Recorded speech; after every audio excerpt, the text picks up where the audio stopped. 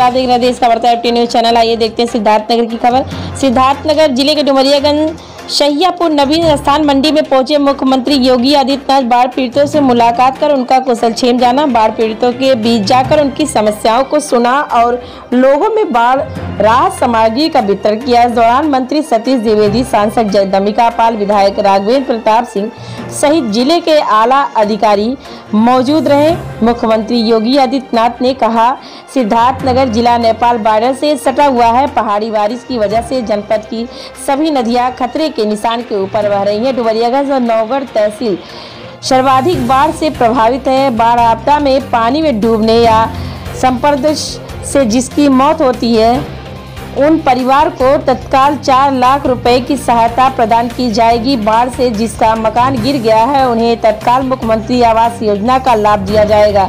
राहत सामग्री व बाढ़ से बचाव का कार्य निरंतर किया जा रहा है।